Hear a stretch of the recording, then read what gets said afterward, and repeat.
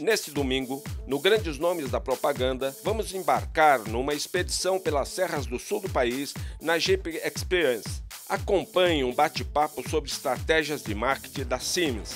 E mais, a Unilever inaugura sua nova sede em São Paulo.